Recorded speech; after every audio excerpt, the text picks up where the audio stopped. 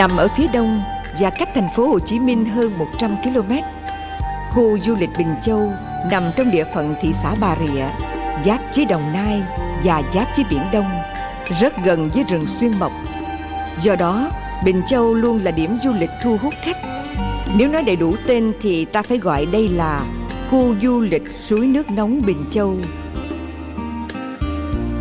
Chiếc xe ngựa nằm trong sân của khu trung tâm luôn sẵn sàng đón khách để dạo bước vào sâu trong khu vực của suối Ban và mời các bạn khám phá một chút rừng xuyên mộc nhé.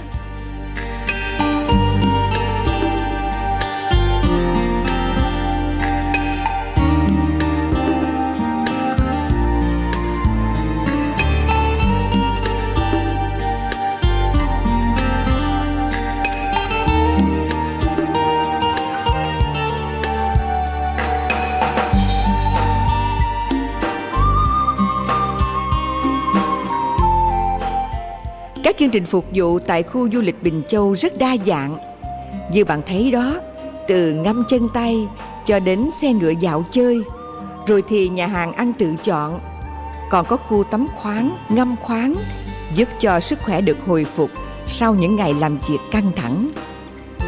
Khu du lịch được thiết kế đẹp, nhẹ nhàng và dựa trên các yếu tố thiên nhiên. Khi là một cây cầu bắc ngang dòng nước, Lúc thì các dãy nhà sàn nằm thấp thoáng dưới các khóm lá, Tạo cho khu du lịch thêm hấp dẫn và quyến rũ lạ. Rời thành phố mà được đắm mình vào thiên nhiên thế này thì có gì bằng? Vừa dân dã, lại vừa hiện đại tiện nghi. Các khu vực luôn có hàng rào bảo vệ, Tạo cho ta cảm giác yên tâm. Đường đi trong khu du lịch luôn được lót đá chẻ và rải đá mi. Do đó, những bước chân du khách luôn tạo nên những âm thanh vui tai.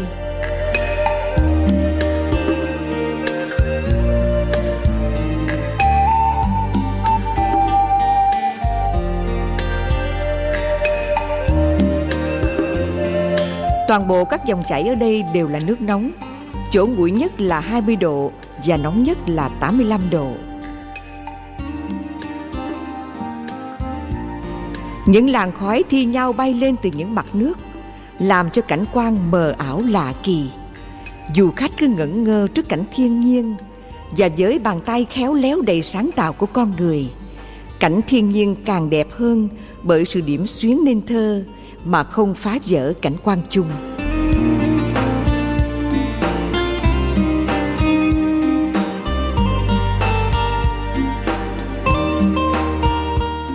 Bụi hoa giấy cứ như quấn lấy các bước chân ta. Những làn khói thi nhau bay lên từ những mặt nước, làm cho cảnh quan mờ ảo lạ kỳ. Du khách cứ ngẩn ngơ trước cảnh thiên nhiên và với bàn tay khéo léo đầy sáng tạo của con người, cảnh thiên nhiên càng đẹp hơn bởi sự điểm xuyến nên thơ mà không phá vỡ cảnh quan chung. Ấy vậy mà nơi đây có rất nhiều bóng mát của cây xanh, nào là tràm, sao, bằng lăng rồi thì ráng, cỏ lau, sậy.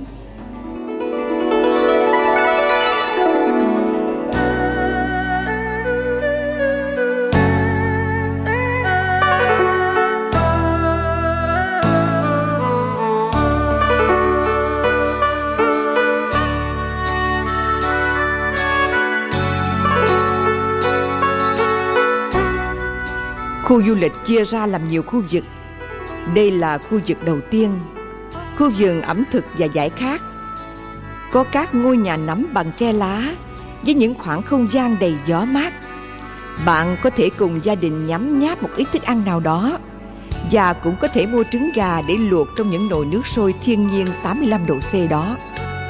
Chính là thú vị độc đáo có 102.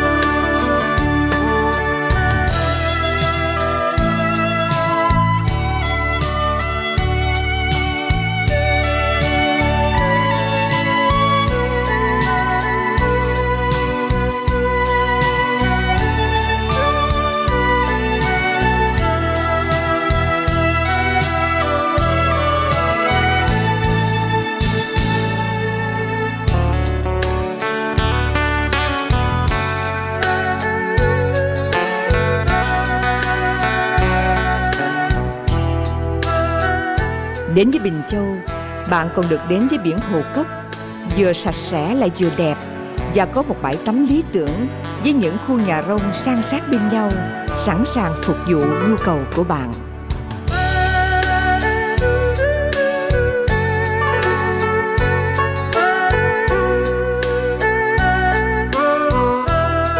Bãi biển lài và cát rất mịn, sóng chậm chậm vỗ về trên bãi cát. Nghe chừng cô gái đã thỏ thẻ cùng ai. Các hòn đá được xếp rất khéo, bao quanh bãi tắm để chắn sóng. Thiên nhiên dường như rất ưu đãi nơi đây.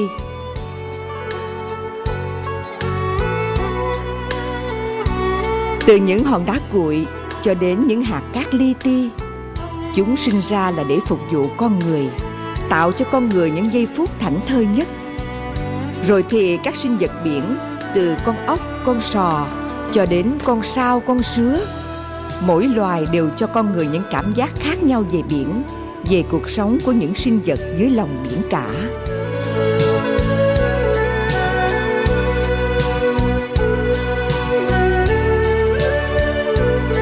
Sau mỗi chuyến đi, họ lại có thêm nhiều kỷ niệm. Biển dù có nhiều sóng bạc đầu, nhưng chẳng khi nào biển buồn cả, và biển luôn trẻ trung vì biển luôn có những bài tình ca đẹp và mới mẻ Ngày nối tiếp ngày, tháng nối tiếp tháng biển vẫn vậy vẫn nồng nhiệt với nhiều lớp người đến với nó. Cứ như vậy từ đời này đến đời khác, biển luôn là nơi để kể chuyện của nhiều thế hệ. Bạn không tin à? Thì bạn cứ thử xem, bạn sẽ thu thập rất nhiều câu chuyện đấy. Vui có, buồn có, và nhiều nhất là chuyện tình đấy.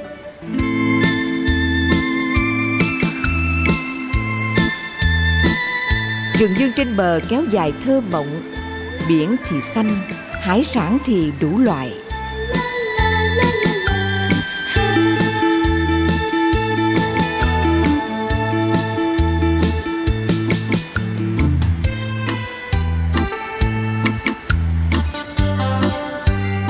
Các người dân ở đây luôn bán hải sản trên bãi biển. Nào là tôm hùm, ghẹ, tươi sống. Tắm biển xong ta có thể mua hải sản luộc ăn tươi tại chỗ. Đó là sự hấp dẫn và thu hút cho ta khi đi biển.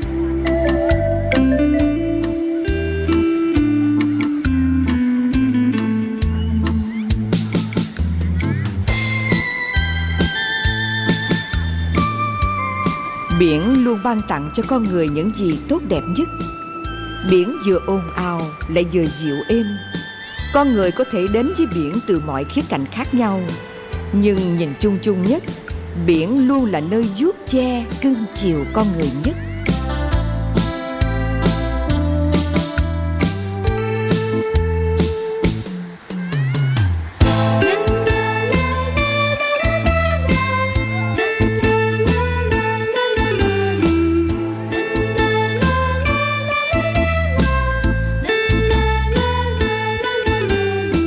Luôn có hoa lá và đầy tiếng chim.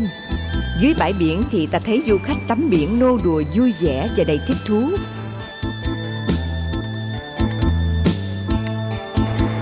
Ta thử cùng người yêu tắm biển xong, Lên ngồi trên bãi cát để tâm tình trên biển. Đó mới là thú đi biển với người tình.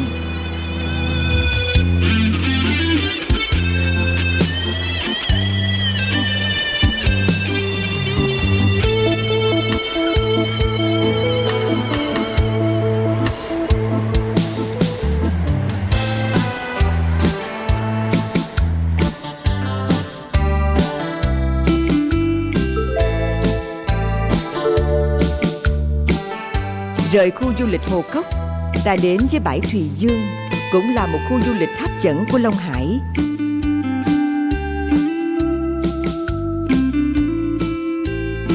Đường đi luôn có những cây lá hoa tạo cảnh quan làm mát lòng du khách.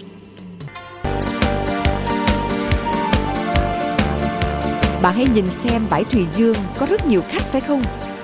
Họ nô đùa với sóng, thả hồn theo mây nước tận hưởng hết những gì mà thiên nhiên đã ưu ái ban tặng cho họ để chuyến đi của họ luôn có những kỷ niệm đẹp với những giờ phút mãi không quên.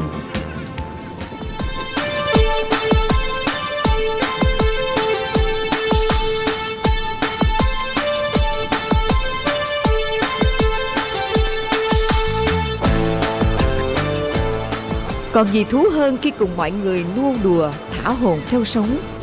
Rồi sau đó bài trò nô đùa làm rộn lên một góc biển. Tiếng cười đùa xen lẫn tiếng sóng biển, tạo nên một khúc ca mà không thể có một nhạc sĩ nào sáng tác được. Vì nó là một khúc ngẫu hứng mà.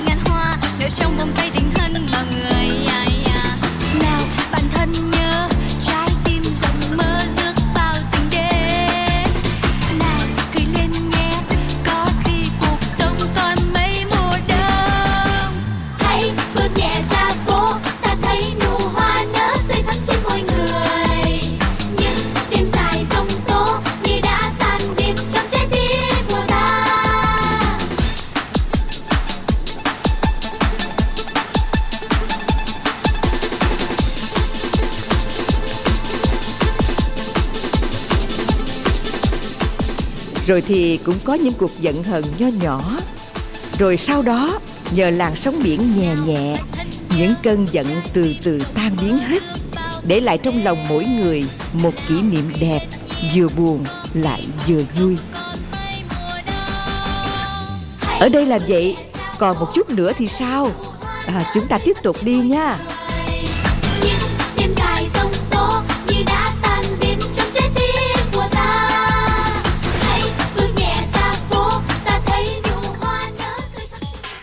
Xe đưa chúng tôi theo quốc lộ 51 để đến với thành phố mà khi nhắc đến tên bạn sẽ nhớ rất nhiều. Thành phố Vũng Tàu. Sẽ có bạn thốt lên, ồ đó là cách mà. Dân, mời bạn hãy đến với Vũng Tàu một ngày đẹp trời này để biết thêm về mảnh đất con người nơi đây. Ôi, khách sạn Tháp 10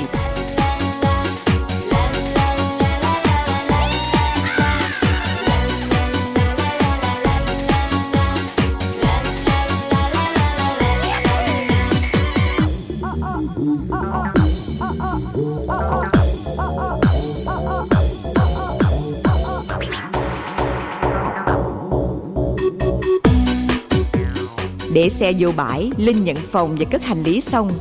Chúng ta cùng nhau qua bãi biển của khu khách sạn Tháp 10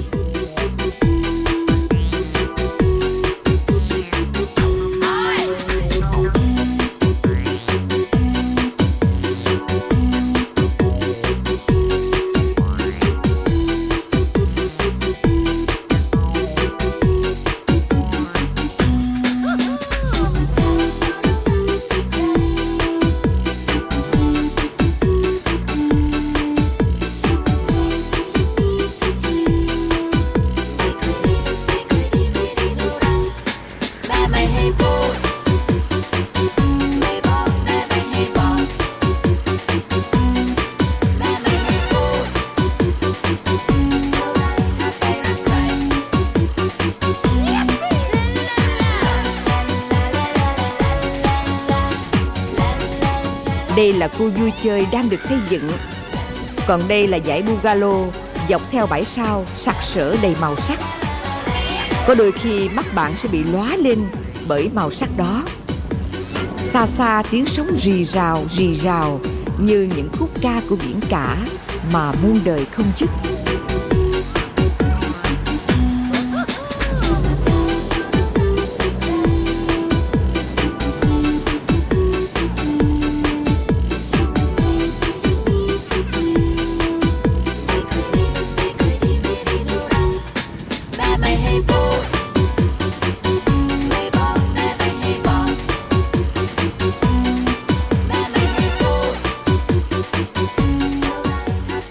người nói rằng, nếu biển không có sóng, biển đâu còn dạt dào.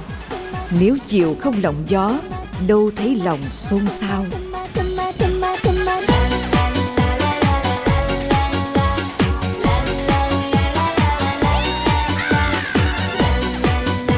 Dũng Tàu phong cảnh đẹp như mơ, Trời nước mênh mông ngập bến bờ.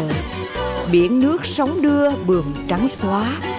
Bãi sao gió lộng núi xanh lơ. Hương phong xoải đá nằm ngang ngổn, Ô quắn rong rêu đội phất phơ. Du khách dập dìu vui thưởng ngoạn, Văn nhân thi sĩ dạy hồn thơ.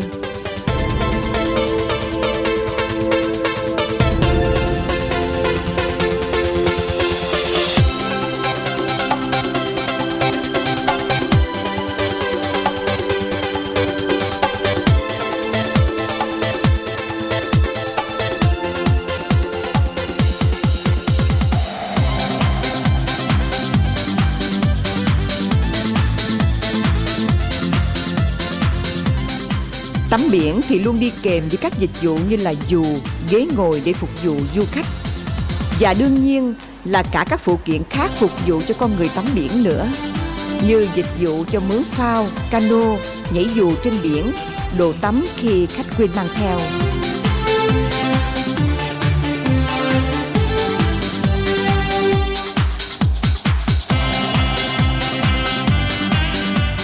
Bạn đã có lần nào ngâm mình trong làn nước biển chưa nhỉ? Cảm giác của bạn ra sao? Vừa mát, vừa ấm, vừa sảng khoái lại vừa đê mê. Thử nằm ở trên phao và nhắm mắt lại xem. Bạn sẽ thấy những làn nước biển như mơn trớn trên da thịt của mình. Và lâu lâu, sóng biển đưa cả thân hình ta lên cao, rồi đột nhiên hạ xuống, làm cho ta có cảm giác lân lân. Và cảm giác ấy cứ kéo dài, kéo dài mãi. Phong ngoài Cười cho niềm vui trao dâng ngày trời ai, ai. Cười cho buồn đau vụt bay Đời ta tươi như ngàn hoa Nơi trong vòng tay tình thân bao người ai, ai.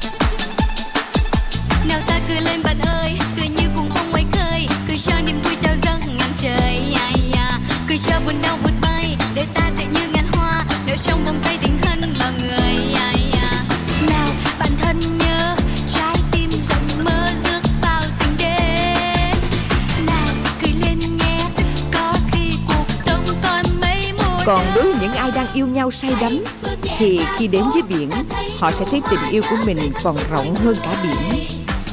Nếu đời không tình yêu, Biển sẽ không có sống. Nếu chiều không gió lòng, Thì tóc em đâu có bền bồng.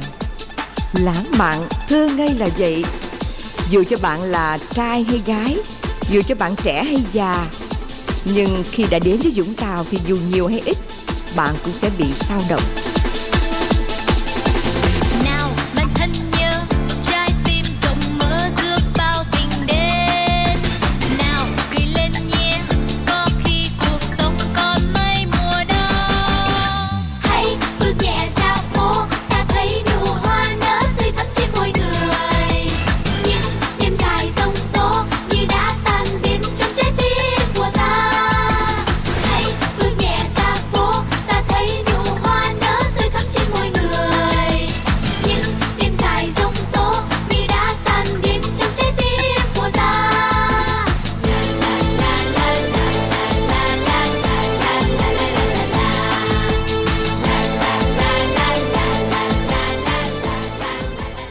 Dù Vũng Tàu rất gần với thành phố.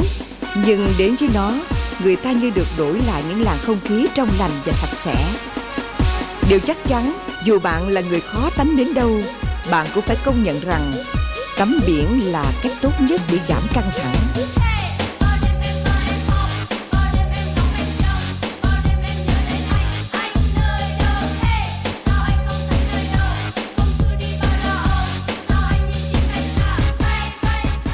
Đã có nhiều người phương Tây muốn đến Vũng Tàu để tắm biển. Họ thoa kem lên người, Phơi nắng ở bãi biển Để có một màu da bánh mật, Vừa đậm đà và vừa bắt bắt Mà phái mày râu hay nói đùa với phái nữ, Đó là làng cha tiền.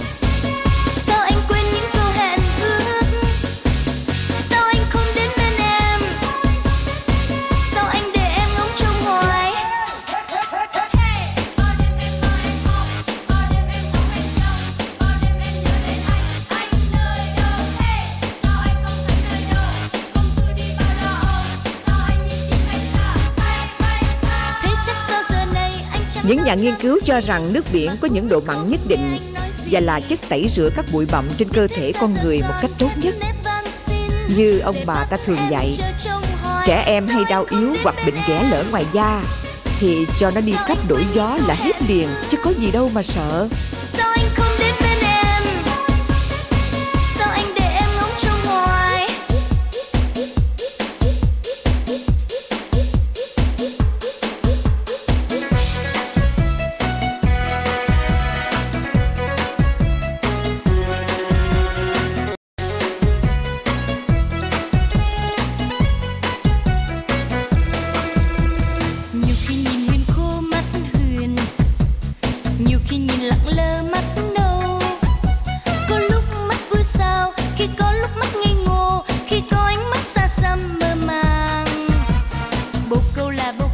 Dân đồng bằng Tây Nam Bộ cũng là yếu tố góp phần cho Vũng Tàu thêm đông khách và hấp dẫn quanh năm. Họ đến đây với tất cả niềm say mê và họ tận hưởng niềm say mê đó đến tột cùng. Có người rét rung lên vì gió và nước, nhưng không muốn bước lên bờ vì cũng không muốn rời xa biển.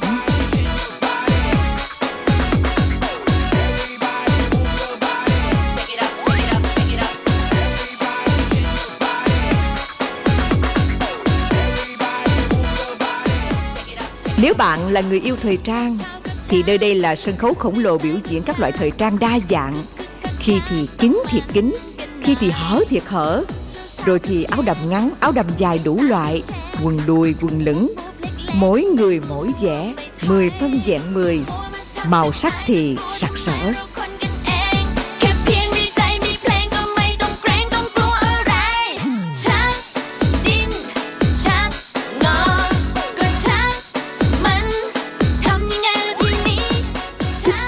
Uống, nhu cầu của khách đến đâu thì nhân viên phục vụ tới đó. Có nhiều khách đến đây còn phải thốt lên Ôi sao mà đầy đủ thế Khỏi cần phải đem theo đồ ăn thức uống từ nhà theo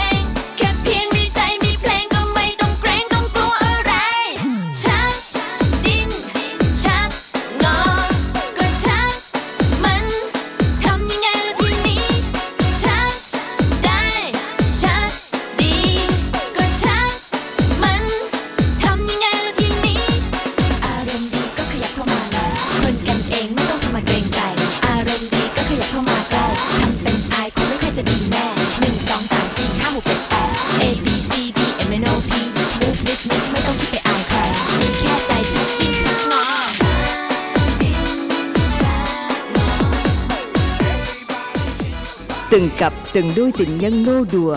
Họ hòa quyện vào nhau cùng nô đùa dưới biển, Quên hết những điều xung quanh.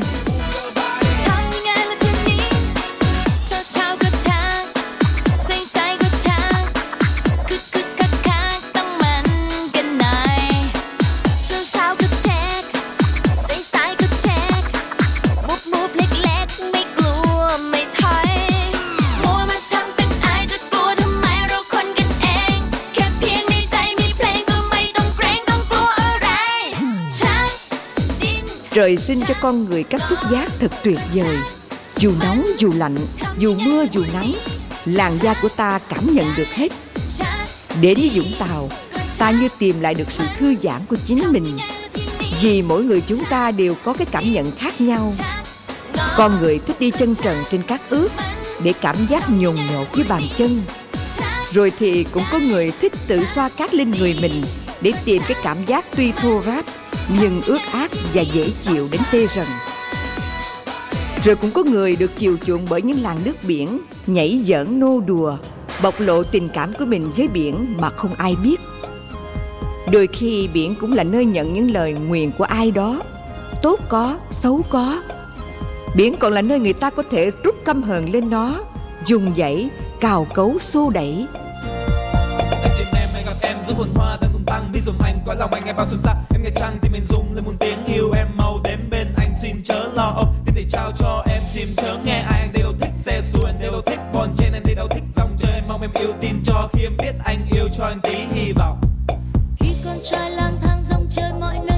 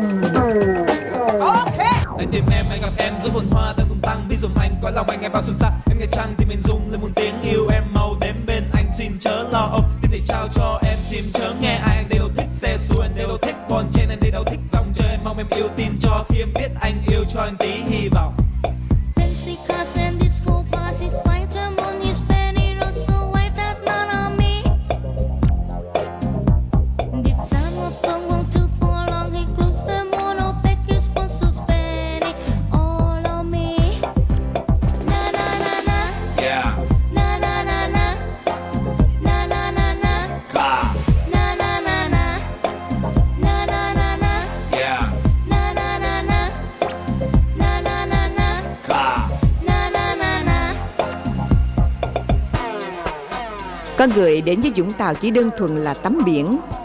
Có người đến với Vũng Tàu là để ngắm biển và ngắm người tắm biển. Và có người đến với Vũng Tàu để tìm lại mối tình đầu hò hẹn với nhau trên bãi biển.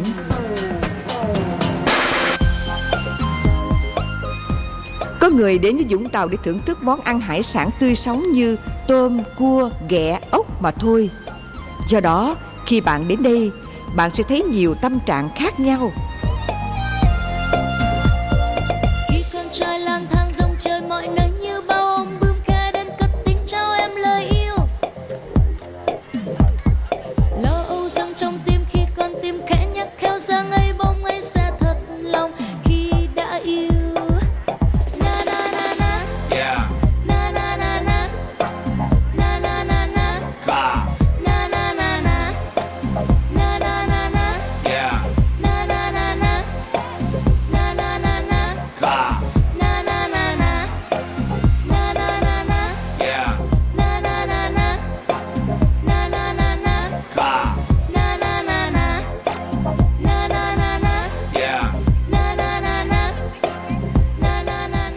Từ sáng sớm đến chiều tối, Bãi biển lúc nào cũng đông. Dân địa phương thì sau một ngày làm việc và học tập, Họ tập trung ra bãi biển nô đùa.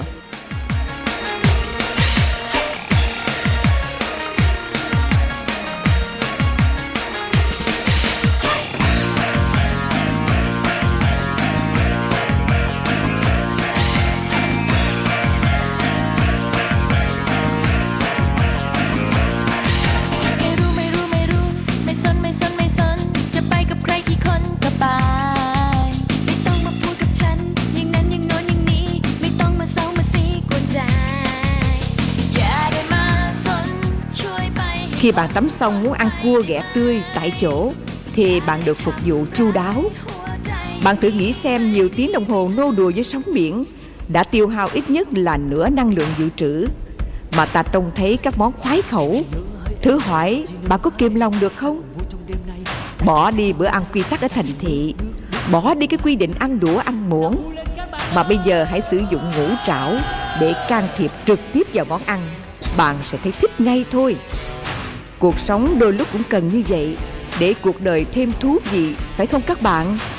Cần phải xáo trộn một chút quy tắc Để thấy cuộc đời ta luôn là một chuỗi ngày hạnh phúc. Và bao con tim đêm nay cùng niềm đam mê bốc cháy. Nào hãy hát lên và hãy nắm lấy tay nhau. Hãy sống vui tròn đêm nay. Yeah. nào hãy sống vui tròn đêm nay. Oh,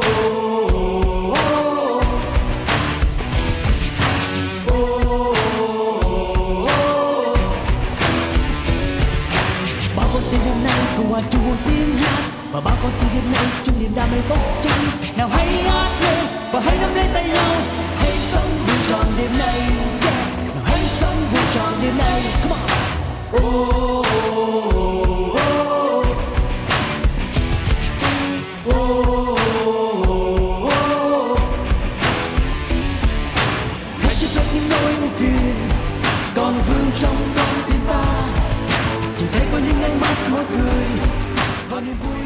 Tắm biển xong họ ăn uống ngay trên bãi biển Nào là bánh bò, bánh tiêu. hãy sống vui đêm nay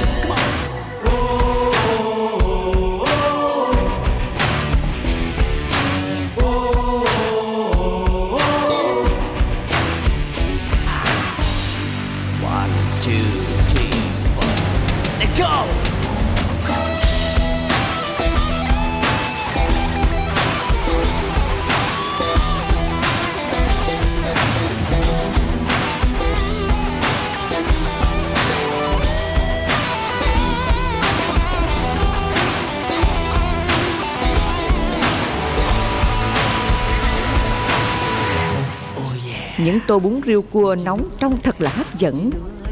Ta cùng vui trong đêm nay, ta cùng say trong đêm nay nào ta cùng bước bước bước nào ta cùng hát hát hát. Nào vui lên các bạn ơi!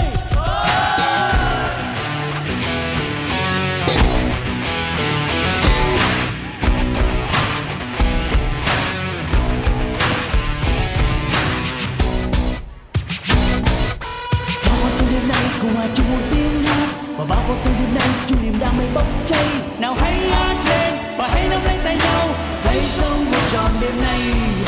Nào hãy sống vui tròn đêm nay. Kia là những em bé đang xây những lâu đài cát Giống như giả tràng xe cát biển Đông Và nhiều trò chơi khác nữa. Bao con tim đêm nay cùng hòa chung một tiếng hát và bao con tim đêm nay chung niềm đam mê bốc cháy. Nào hãy hát lên và hãy nắm lấy tay nhau và ta có thể nằm trên bãi biển để đắp cát lên người nhau.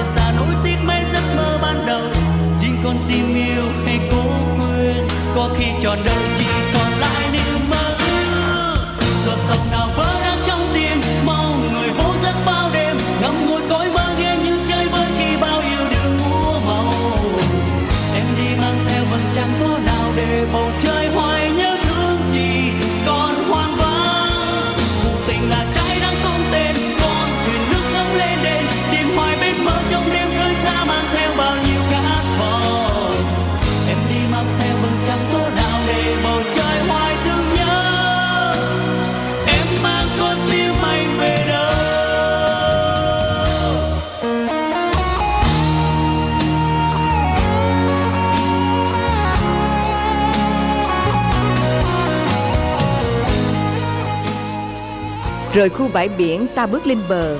Khi nào là hồ bơi, bia Những ai sợ sóng biển Thì mời đến đây. Hồ bơi Dolphin Thả mình theo làn nước ngọt mặn đủ cả Để có cảm giác tắm hồ bơi giữa biển.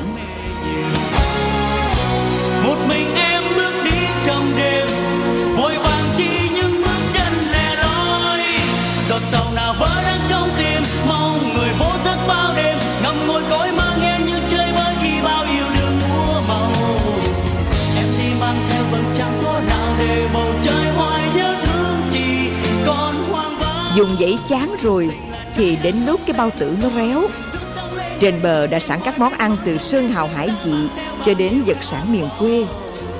Kể cũng lạ, ai tắm cứ tắm, ai ăn cứ ăn.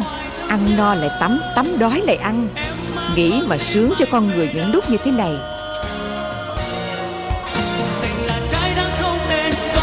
Ngồi trên biển mà uống vài ly rượu đế, tâm sự cạn lòng với bạn bè cũng thú lắm chứ. Hoặc giả là ôm cây đàn guitar, hát vài câu hát về biển và tình yêu.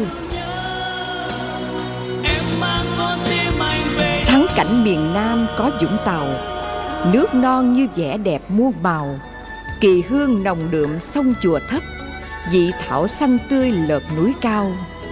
Nhô cách thuyền khơi xa dịu dợi Há mồm biển thét giọng rì rào. Trời mây đậm non xanh pha trắng Cảnh đẹp miền Nam có Vũng Tàu Cho đến các dịch vụ vui chơi giải trí khác, bạn tha hồ mà chọn bãi tắm tốt có thể phục vụ cho bạn một cách ân cần nhất. Bạn nhìn cách họ lo lắng chăm sóc cho khách là bạn thật sự hài lòng.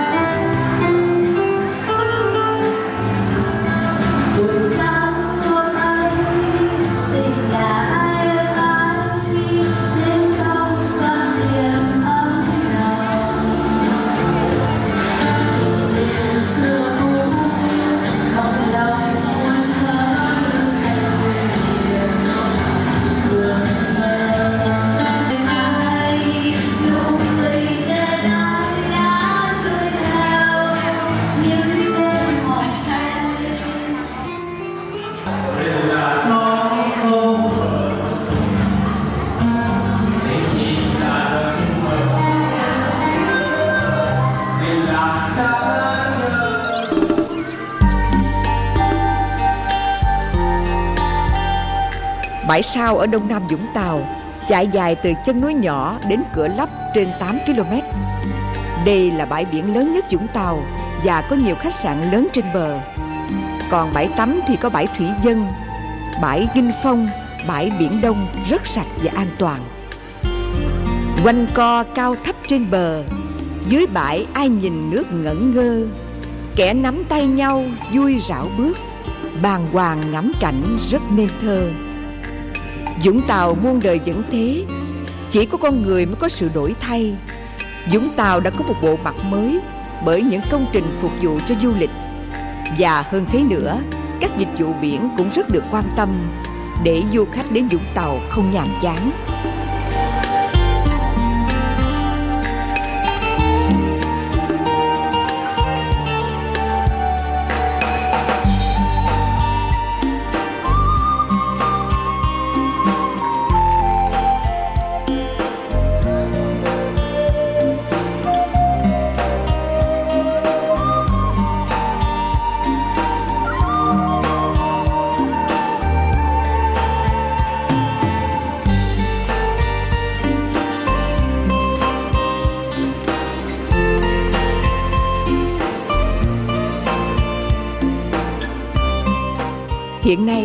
Chân núi nhỏ đang có các công trình rất quy mô và đồ sộ được xây dựng vừa trên bờ vừa dưới nước để phục vụ nhu cầu ngày càng cao của du khách.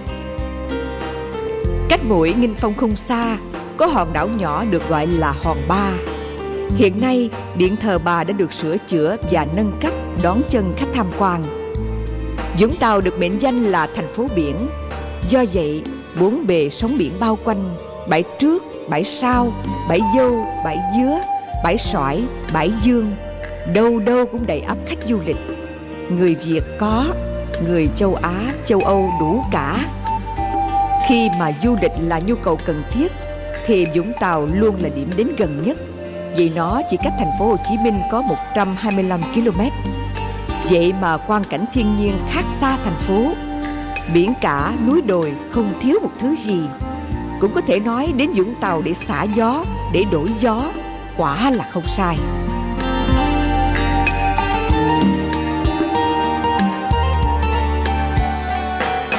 Thay đổi từng cơn cuộc bể dâu, thừa lương mượn chút cảnh tiêu sầu, xanh rờn mặt nước trời in vẽ, vàng phết chân son cát ảnh màu, quanh vùng nhấp nhô dăm cảnh bãi, ngoài khơi thấp thoáng mấy con tàu phải chăng biển vẽ tranh nhân thế?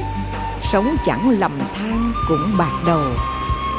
Đêm ở biển thì lúc nào cũng hấp dẫn Và đặc biệt là Vũng Tàu Vì màu sắc và sóng biển rì rào Như là lời thì thầm trong gió. Hơn nữa, con đường Hạ Long uống mình trên biển Luôn là cảm hứng của các nhà thi sĩ.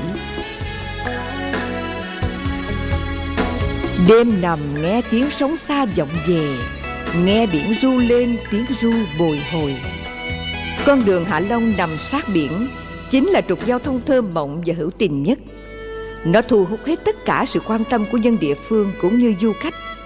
Một bên là biển, một bên là các dãy hàng quán xôn xao. Đèn trang trí tạo cho bầu trời đêm Vũng Tàu Như một đêm hoa đăng lộng lẫy.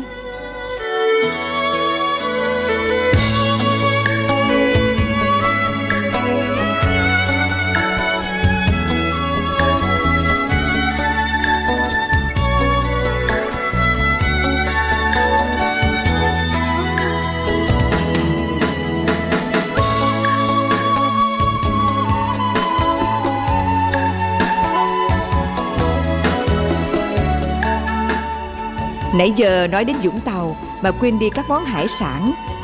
Nào, mời các bạn theo chúng tôi đến quán hải sản.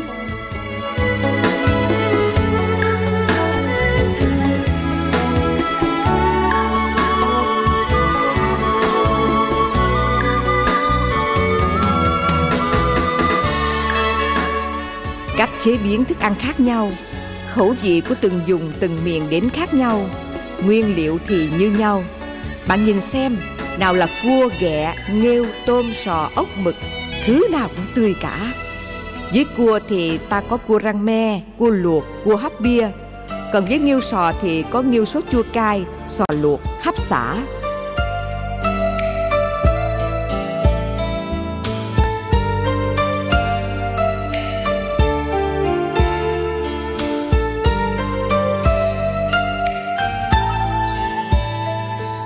coisa.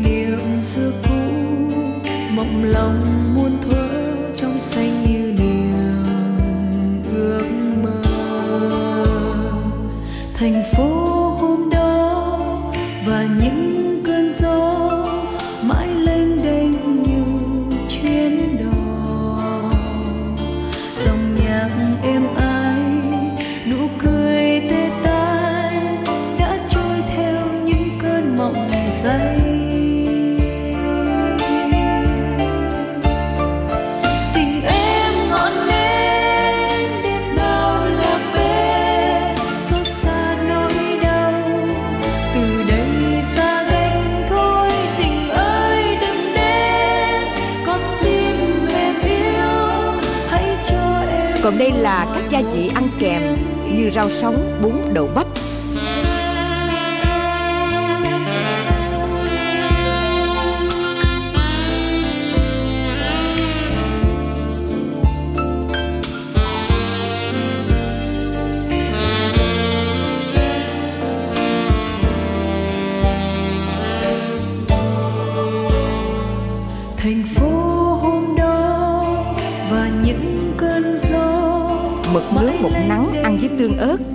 ghẹ luộc nước dừa.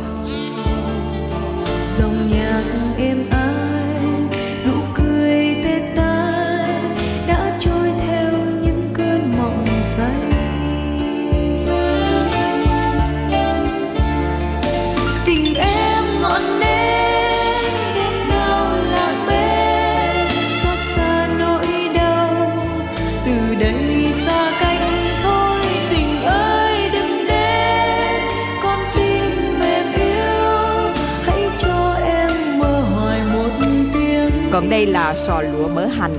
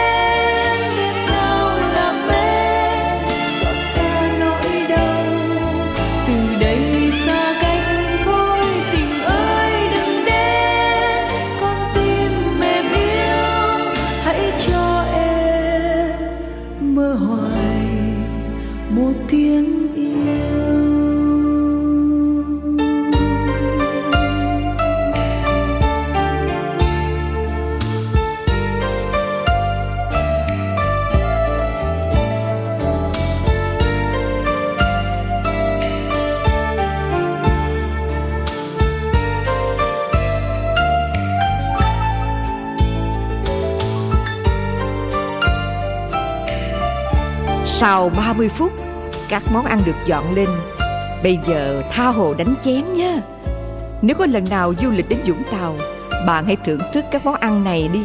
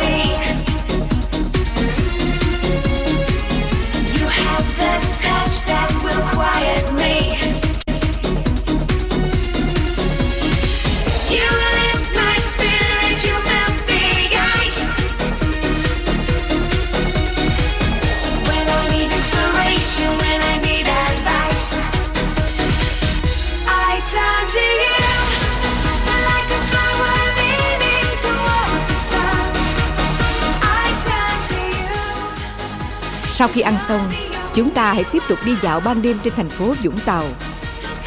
Vũng Tàu huyền bí hơn khi các danh lam thắng cảnh như Thích Ca Phật Đài, Niết Bàn Tịnh Xá. Các Phật tử từ các nơi luôn thành kính hướng về đây, mà nhất là mùa lễ Du Lan báo hiếu, thì chương trình tại Niết Bàn Tịnh Xá lại uy nghiêm sâu lắng, thu hút du khách khắp nơi.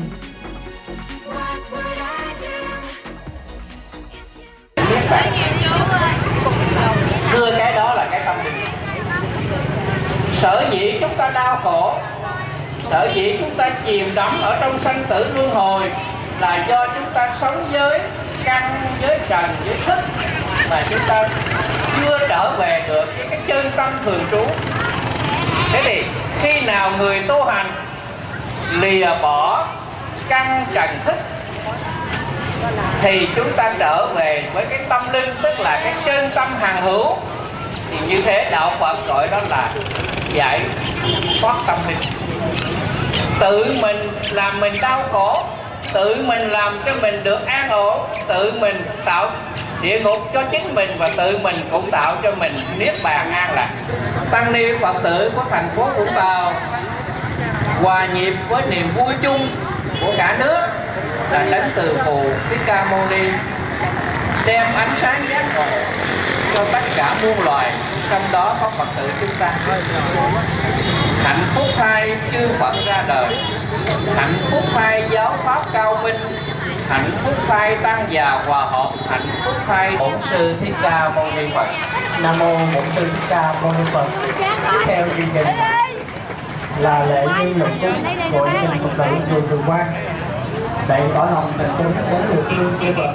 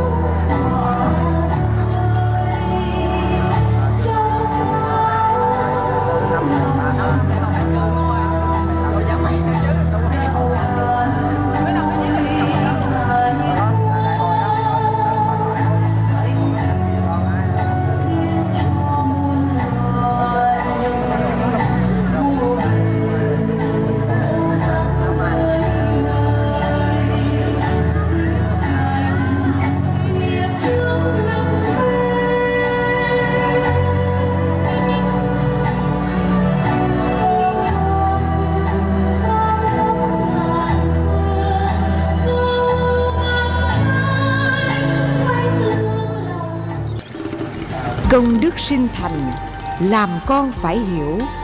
Công cha như núi Thái Sơn, Nghĩa mẹ như nước trong nguồn chảy ra.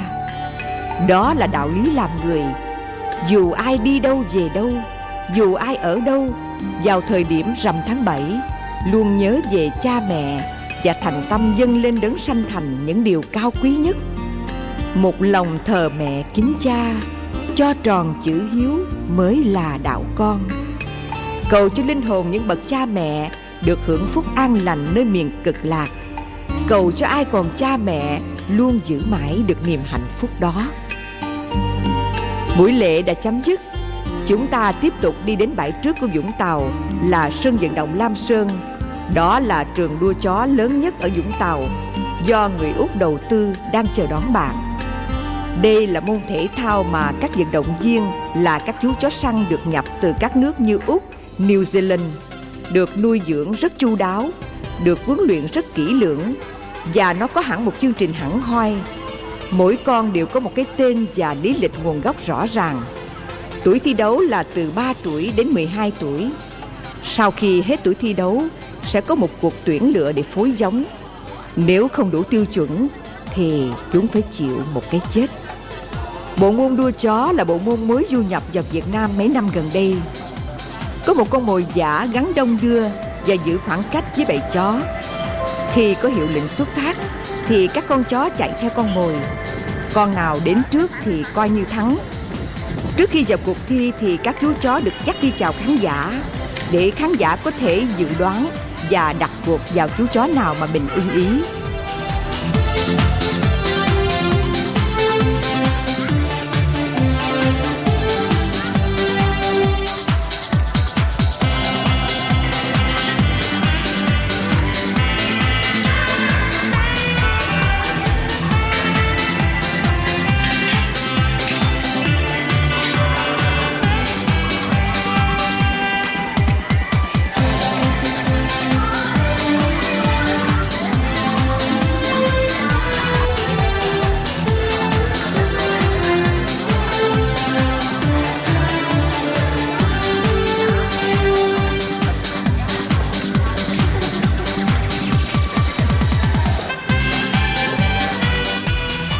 Con đều có mang một số và một cái tên rất đẹp Như là Hoàng Mai, Hoàng Yến, Tiểu Cúc, Cúc Phương, Xuân Đào.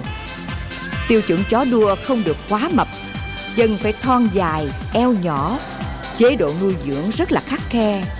Mỗi con đều có một huấn luyện viên Và khi bắt đầu đua Khán giả được theo dõi trên màn ảnh TV vị trí con chó mà mình chọn Và biết được tốc độ chạy của vận động viên mình là bao nhiêu.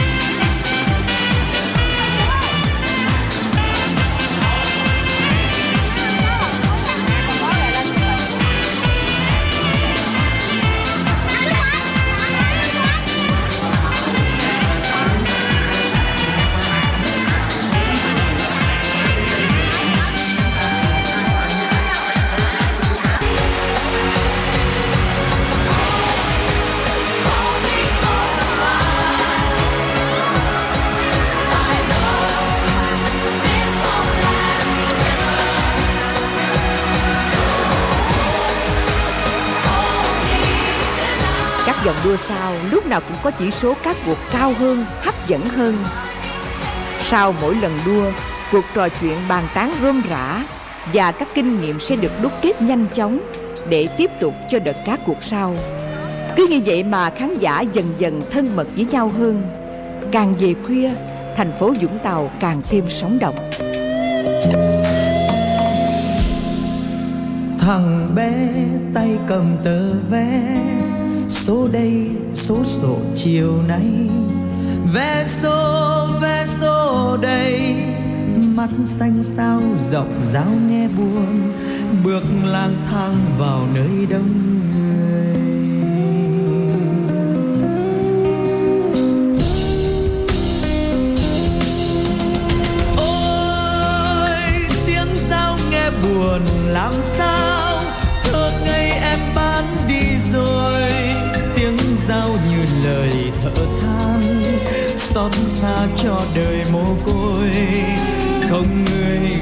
Tên bằng má ôi sài gòn đen đỏ, đen xanh, em đi giữa phố không đèn đêm tương lai qua từng con số, bước lang thang qua từng con phố.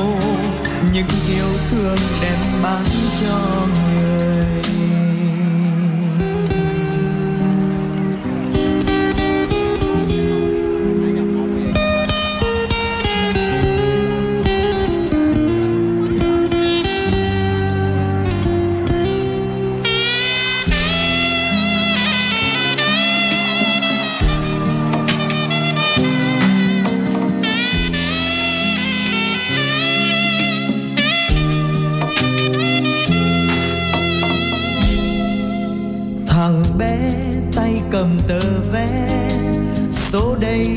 số sổ chiều nay.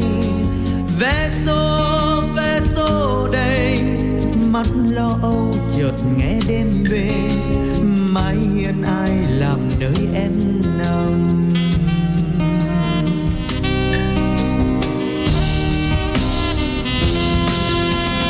Ôi, giấc mơ trong đời mồ côi, em mơ cặp sách đến trường bạn bè đùa vui.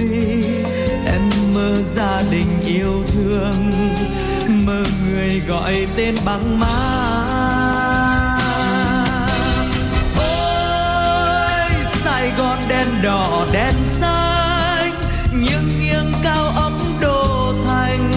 Biết bao gia đình giàu sang, biết bao con người lang thang hãy yêu thương bao trái tim nghèo. May mắn em ban cho người. May mắn em ban Ủa, cái gì vậy nè? À ha, hội chợ. Mà đây là do các anh trai giả gái kêu lô tô để trúng thưởng. Hãy subscribe cho kênh Ghiền Mì Gõ Để không bỏ lỡ những video hấp dẫn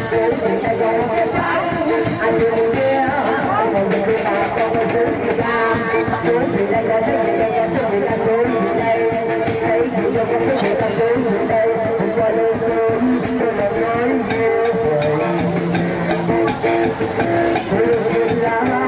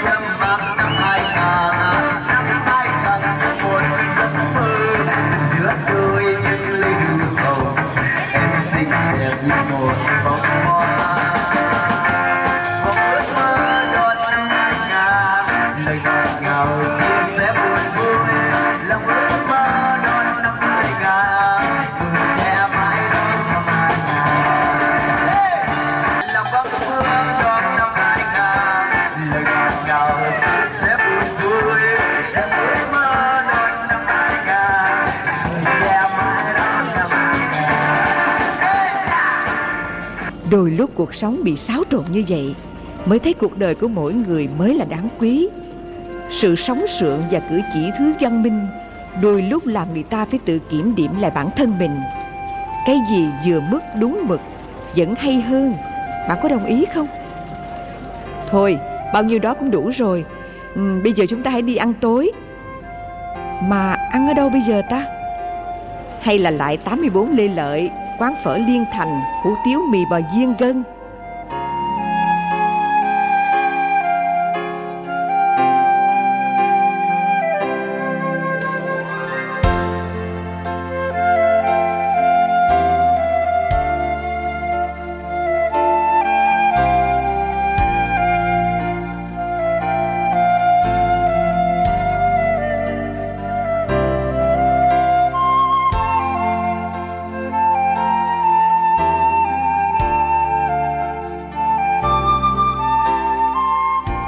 Cần nhìn bàn tay bà chủ quán làm thôi Thì dịch vị đã làm cho ta cứng cả hàm. Hủ tiếu trụng xong với giá Cho vài cục bò viên và gân bò Hành ngò, rau quế, nước lèo nóng hổi Bạn sẽ hài lòng với một tô phở thật hấp dẫn.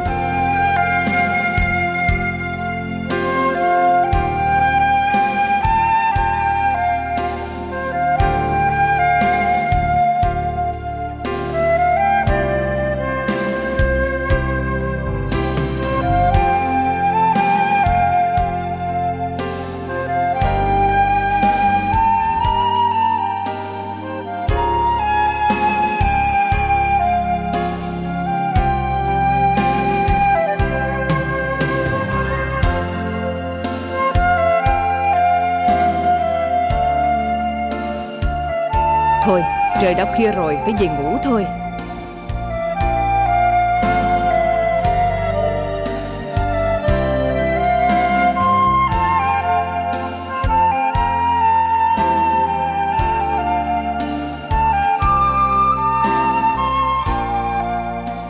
Ả lại cho bãi cát sự phẳng lặng và đầy sức mời gọi.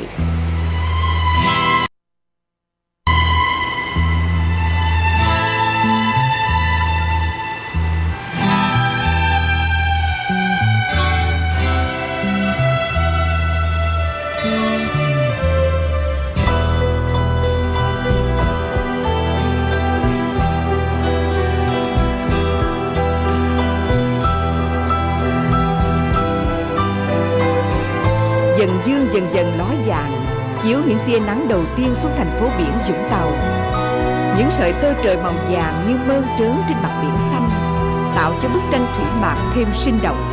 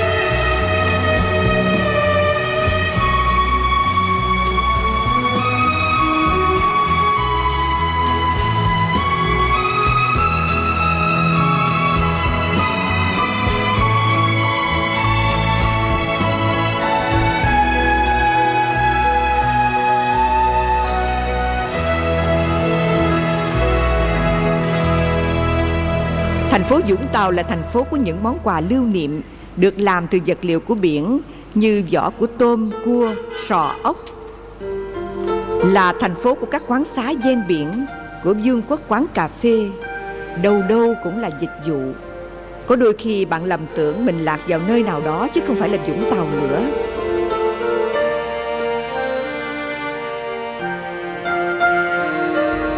Vũng Tàu còn một danh lam nữa đó là Bạch Dinh.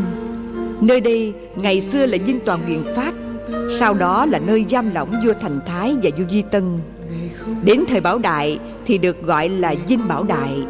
Về hiện nay là khu di tích lưu trữ cổ vật Hòn Cao. Các cổ vật được xác định là thời nhà Minh, Do di chuyển bị đắm ngoài khơi gần Hòn Cao. Em lặng lẽ hay ngày buồn nghe trời gió ùa vào trong lòng phố. Ngày mà anh vắng lặng.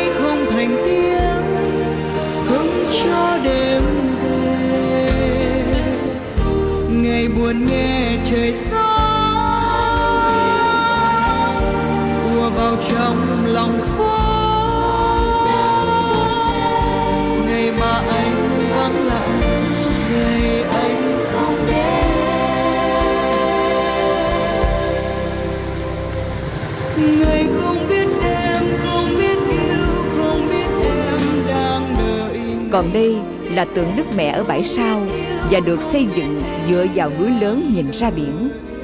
Toàn khu vực gồm nhà nguyện, công viên và rất nhiều ghế để cho khách hành hương nghỉ chân. Lại ra ô cấp mà soi, trong xuống trong lên nước với trời. Vỏ cánh quảng chi con sóng lớn, sạch mình hà ngại cõi trần ai.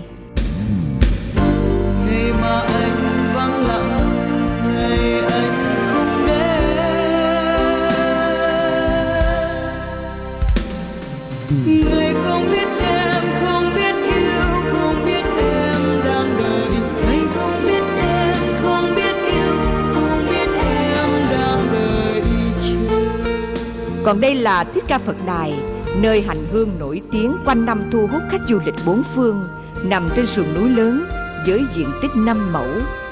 Và nơi đây có rất nhiều bộ tượng trong giường tượng kể về thân thế sự nghiệp của Phật Thích Ca. Đến với Vũng Tàu mà không đến với Đình Thắng Tam thì thật là sai lầm. Vì ở đây thờ các vị thần hoàng làng, trang trí uy nghi, vàng son lộng lẫy. Ở giữa một hương án to thờ một hộp sắc thần, Bên ngoài phủ lên một tấm vải đỏ. Hai bên trần thiết hai hàng lễ bộ Gươm giáo siêu đao thời xưa. Ngôi đình thờ ba vị thần hoàng làng. Chính ba người này đã khai quang lập ấp mở cõi Và thành lập ra Vũng Tàu ngày nay. Đó là các ông Phạm Văn Dinh, Lê Văn Lộc, Ngô Văn Quyền. Triều đình ban hành sắc chỉ cho dân chúng thờ.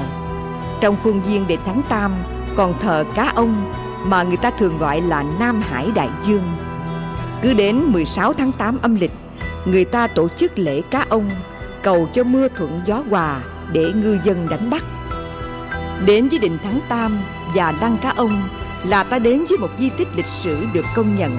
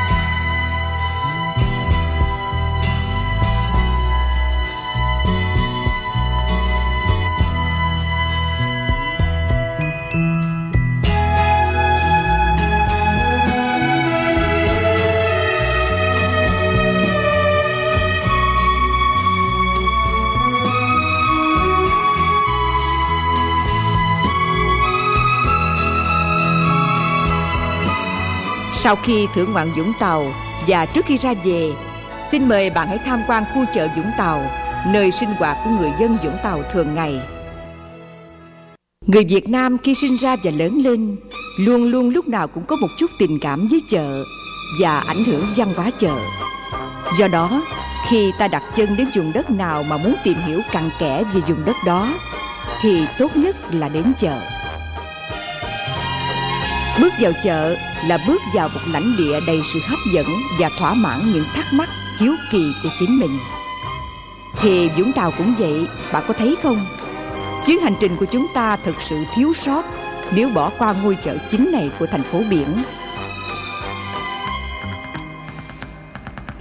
Ở đây có đủ cả, từ vật nhỏ nhất đến vật lớn nhất.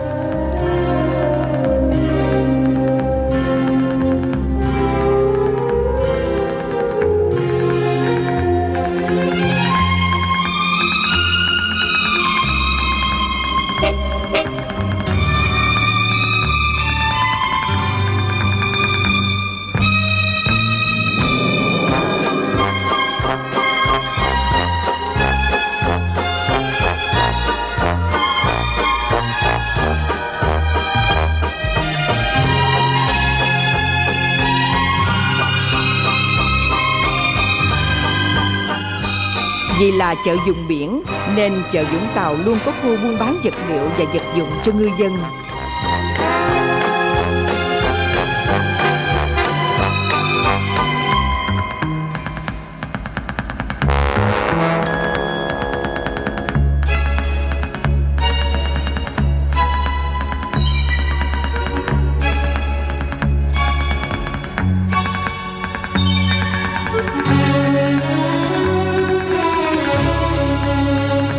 Chợ mới được sửa sang lại nên xung quanh có rất nhiều quán ăn hấp dẫn. Vì gần biển, gần chợ nên thức ăn rất tươi.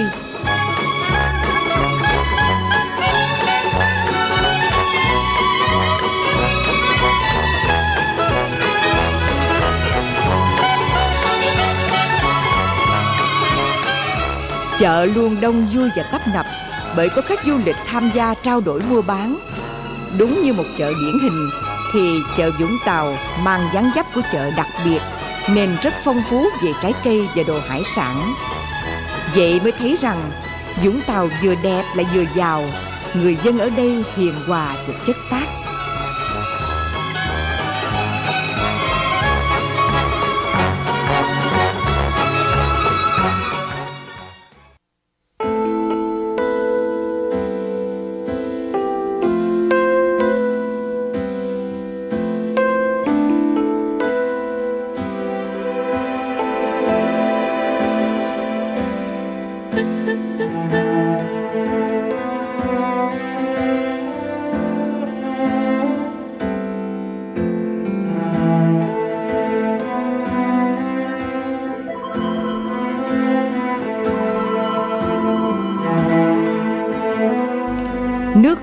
Là nước non trời.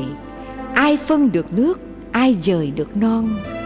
Đố ai biết cá mấy con, Lội bơi mấy nẻo, Sống còn mấy nơi. Nghìn trùng biển cả chơi vơi, Ai dò tận đáy, Ai bơi tận bờ. Mịt mù từ thuở ban sơ, Một khung bí ẩn bên bờ mênh mông. Vì là thành phố du lịch, Nên các chủ nhà hàng sẵn sàng mời đầu bếp giỏi tay nghề cao từ các địa phương khác đến để phục vụ cho thực khách khắp nơi.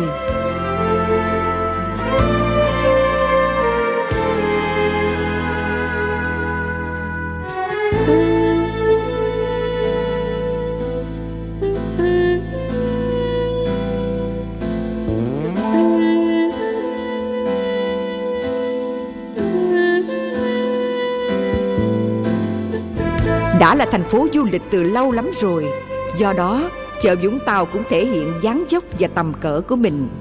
Nó có sức hấp dẫn bởi nhiều yếu tố, đặc biệt nhất là yếu tố thiên nhiên.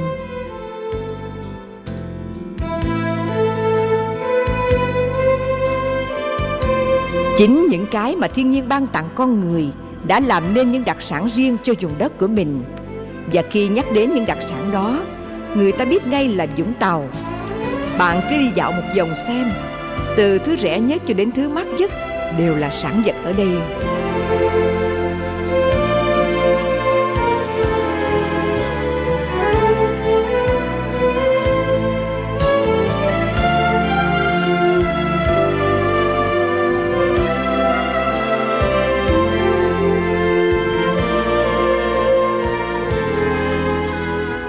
Nếu đến chợ Vũng Tàu, bạn cũng có thể bắt gặp hầu hết các đặc sản biển từ tươi tới khô. Và nếu mở ra hội thi ẩm thực ba miền, thì bạn khỏi mất công đi đâu xa. Ở đây, chợ Vũng Tàu có đủ cả các sản vật địa phương của Việt Nam, từ Móng Cái đến Cà Mau vẫn đủ cả.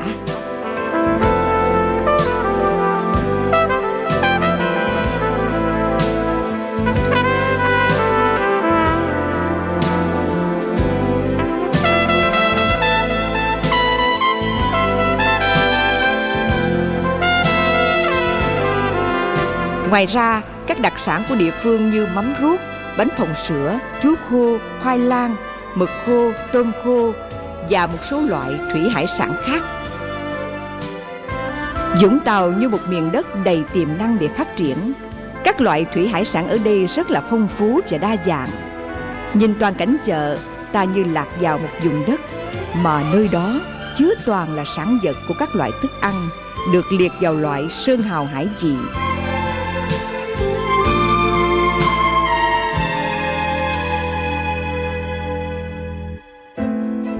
Với khí hậu ôn hòa, người dân mến khách và phong cách hữu tình, Vũng Tàu luôn luôn mới và hấp dẫn du khách gần xa. Như vậy, nếu bạn chưa biết hết, thì hãy ghé vào chợ và hỏi xem thứ hải sản này được chế biến ở đâu và mang về từ đâu. Bạn sẽ được người bán kể cho nghe nhiều câu chuyện thú vị xảy ra xung quanh món hải sản đó.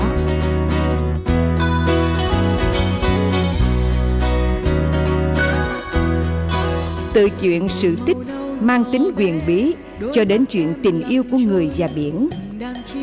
Chợ còn là nơi giới thiệu điểm tham quan cho bạn chính xác nhất và tận tình nhất. Chợ Vũng Tàu còn là nơi cung cấp cho bạn kinh nghiệm dự báo thời tiết hay nhất. Họ có thể nhìn trời để đoán mưa giông, để đoán xem có bão xa hay không. Và họ chỉ cần nhìn màu nước biển thì cũng có thể biết nên đánh bắt ở đâu để có được loại thủy hải sản nào và sản lượng là bao nhiêu. Sẽ có một ngày gần đây, chúng tôi sẽ xây dựng một chương trình về kinh nghiệm và những khả năng tuyệt vời của con người đối với thiên nhiên. Bạn có thích không? Hãy chờ nhé. Sông trăng đang chờ ai trên bên vang lắng nghe con tim dại khờ lắng nghe tình dơ dang lắng nghe trái tim yêu này tưởng chừng như hoa đá sẽ ngừng trôi. Thước tha sắc hương xưa đang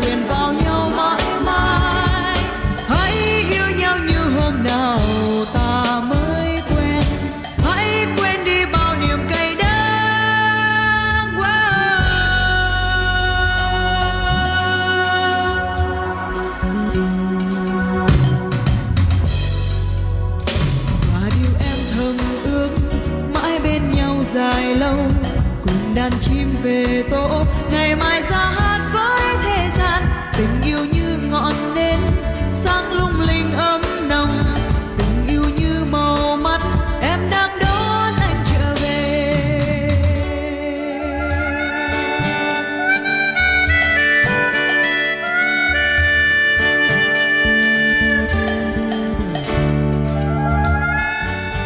Còn trái cây thì toàn là thứ độc không à? Sầu riêng, mít, cốc, táo, chôm chôm. Người bán kẻ mua đua nhau mà thử. Bạn cứ thử đến một lần xem Bạn sẽ thấy chợ Vũng Tàu cũng có những mùi vị đặc trưng đó. Xem không đã mắt đâu Hãy một lần đến để mua về Rồi cùng thưởng thức nha.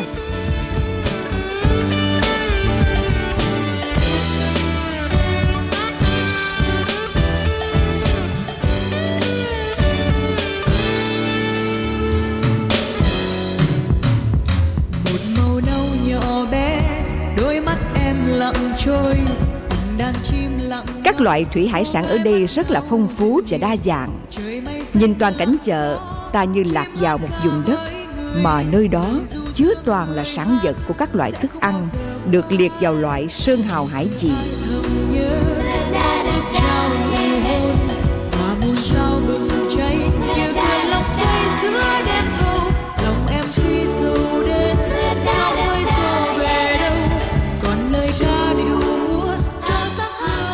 Còn các loại nông thổ sản như nhãn, mãng cầu ta, dưa hấu, táo, hồng luôn có quanh năm.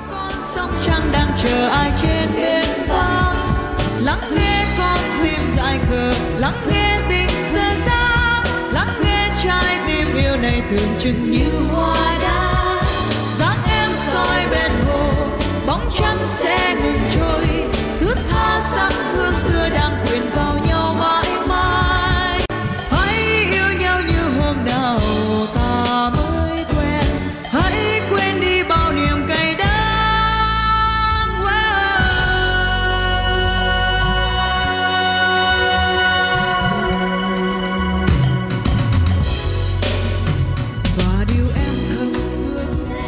Nếu nói đã biết hết Vũng Tàu thì cũng không đúng lắm đâu.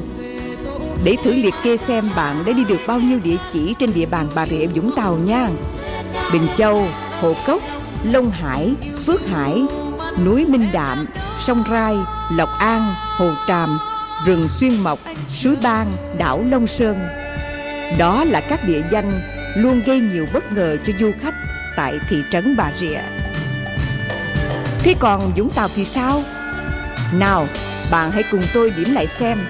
À, Thích Ca Phật Đài, Bạch Dinh, Niết Bàn Tịnh Xá, Mũi Nghinh Phong, Tượng Thánh Giác, Đình Thánh Tam, Bãi Trước, Bãi Sau, Bãi Dâu, Bãi Dứa, Bãi Đá.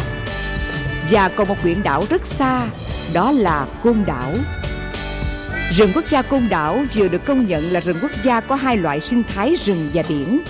Hiện nay, ở đây có loài bò biển sinh sống, có cả loài rùa biển hiện đang được bảo vệ và phát triển giống loài ở đây.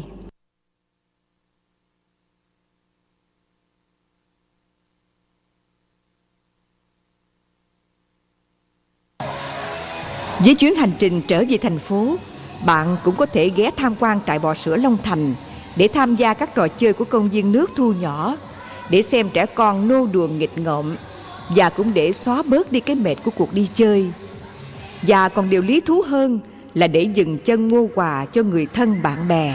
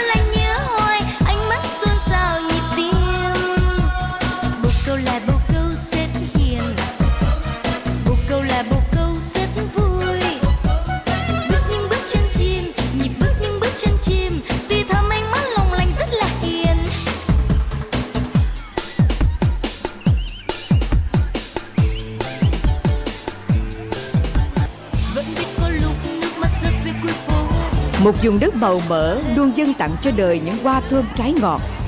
Long Thành là vùng đất tiếp giáp giữa Đồng Nai và Bà Rịa Vũng Tàu. Là một vùng đất như vậy Bạn có biết là những vườn sầu riêng cao sản bạc ngàn Mà mỗi khi mùa trái chín Thì cả một đoạn đường mười mấy cây số Thơm ngát mùi sầu riêng. Và cái mùi gây sốc ấy cứ ve vãn quanh ta Kích thích hệ thần kinh và hệ tiêu hóa kêu lên ồn ồn. Trời ơi, không ăn chắc là chết thèm quá. Còn bạn thử nghĩ xem Đến mùa hè ve răm ran kêu Thì cả luôn con đường Long Thành đỏ rực lên Vì những chùm chôm chôm đỏ bọng. Đi dưới hàng cây bóng mát Và nghe đâu đây câu hát Nhớ mùa chôm chôm trước Mùa chôm chôm chín đỏ. Nếu ai lỡ chưa mua được hải sản Thì về đây cũng có thể mua cua, ghẹ, tôm hay ốc nữa.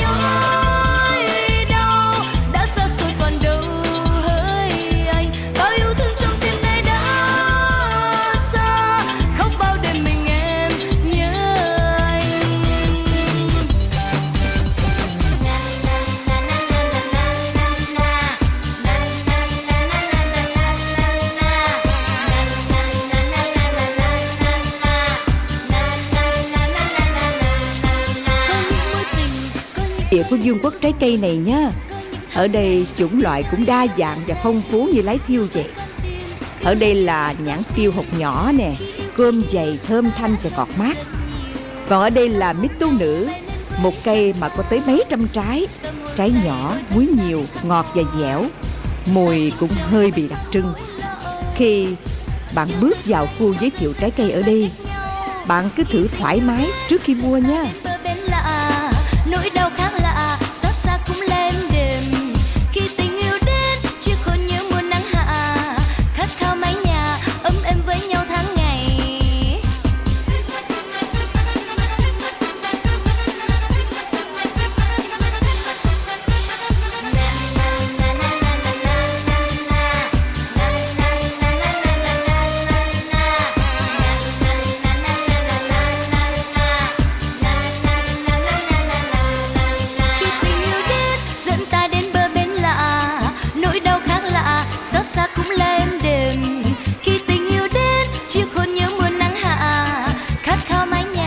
Ngoài ra, khi dừng chân nơi đây, bạn cũng được thưởng thức các món ăn dân dã như bánh canh giò heo, hủ tiếu, mì, cháo lòng.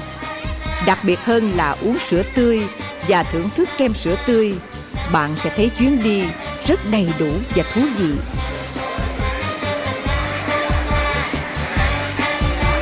Long Thành là nơi dừng chân để chặn cuối cuộc hành trình vào thành phố đỡ mệt. Nhưng nó cũng rất thú vị và hấp dẫn. Bạn hãy thử ghé đến và khám phá tiếp xem còn những gì nữa nhé. Về đến nhà, bạn sẽ cảm thấy nuối tiếc và đến đêm bạn sẽ có những giấc mơ đẹp. Tạm biệt, chúc ngủ ngon. Hẹn gặp lại các bạn nhân chuyến về thăm gia đình và tham quan thắng cảnh Bình Long Hồ.